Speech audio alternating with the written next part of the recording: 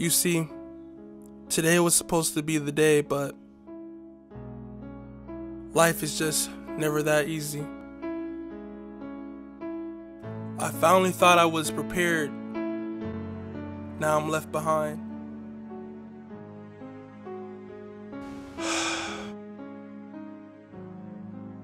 I even called some friends to see if they would help me.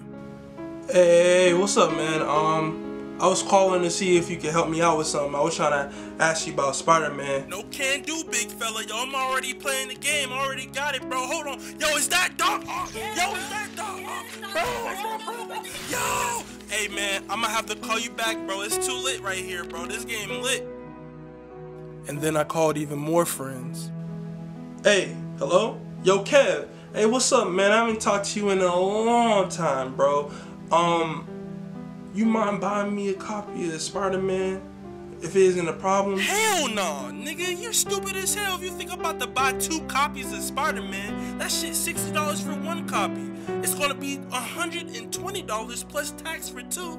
We friends, but we not friends friends. Do I look like a handout to you, nigga? And you still didn't pay me back from last time? Yo, Man, you better get that shit yourself. Because niggas were petty, I gave up. But it was a lot harder than I expected.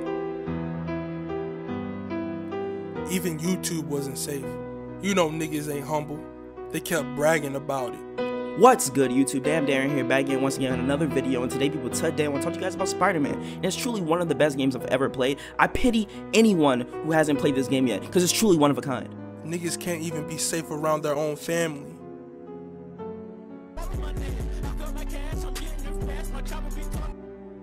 Alright.